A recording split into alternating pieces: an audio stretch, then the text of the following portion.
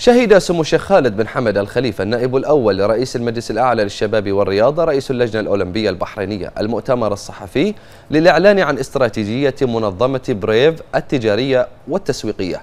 وحضر المؤتمر الصحفي سمو الشيخ سلمان بن محمد الخليفة رئيس المجلس البحريني للألعاب القتالية ووزير شؤون الإعلام سعادة السيد علي بن محمد الرميحي ووزير شؤون الشباب والرياضة سعادة السيد أيمن بن توفيق المؤيد وأمين عام اللجنة الأولمبية البحرينية سعادة السيد محمد حسن النصف وعدد من المسؤولين بالقطاعين الحكومي والخاص ولفيف من الأسرة الإعلامية المحلية وممثلو وسائل الإعلام الأجنبية وعدد من المدعوين.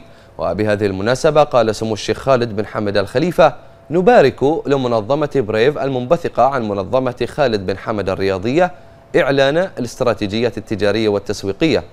فهذه إحدى الخطوات المستقبلية المدروسة من قبل المنظمة والتي تأتي ترجمة لرؤيتنا التي وضعناها لدعم بطولة بريف فالبطولة استطاعت أن تشق طريقها بنجاح وتؤكد أنها ماركة وتؤكد أنها ماركة بحرينية مسجلة في سماء رياضة فنون القتال المختلطة العالمية والذي جاء بفضل ما تحظى به الرياضة البحرينية. من رعاية ودعم من لدن سيد الوالد حضرة صاحب الجلالة الملك حمد بن عيسى الخليفة عاهل البلاد المفدى حفظه الله ورعاه.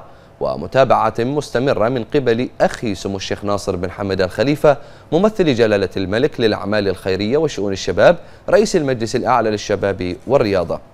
فقد استطاعت البطولة أن تحقق أهدافا من أبرزها تعريف العالم بمملكة البحرين كدولة ذات منجزات حضارية ورياضية كما ساهمت في تعزيز المكانة المرموقة التي وصلت إليها الرياضة البحرينية على الساحة الرياضية والدولية.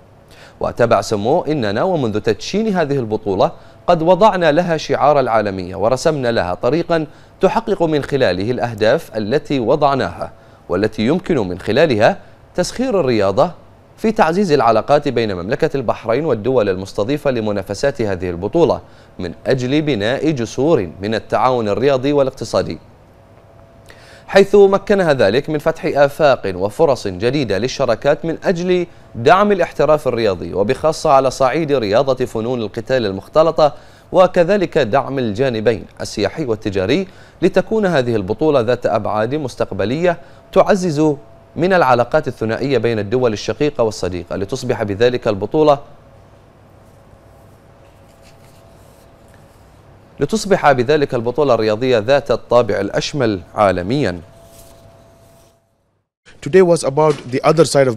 اليوم كانت الفعالية مخصصة للجانب الآخر من مسابقة بريف من حيث الأرقام والتطور والإنجازات التي حققتها رياضة فنون القتال المختلطة البحرينية على المستويين الإقليمي والدولي. كما ألقت هذه الفعالية الضوء على العوائد الاقتصادية لهذه الرياضة ودور هذه الرياضة لإبراز دور البحرين على المستوى الدولي وإبراز المنجزات الحضارية والرياضية للبحرين.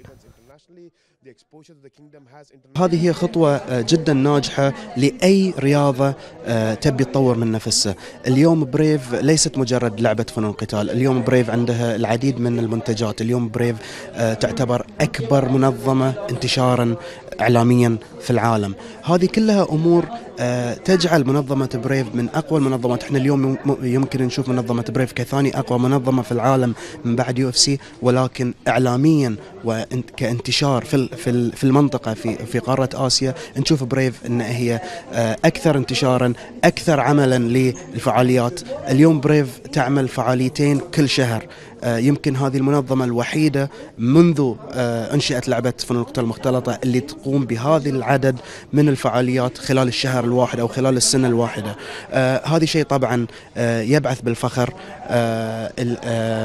إحنا فخورين جدا بهذه المنظمة فخورين جدا بوجودنا بهذه المنظمة فخورين جدا في ان إحنا ننفذ رؤية وتطلعات سمو الشيخ خالد بن حمد.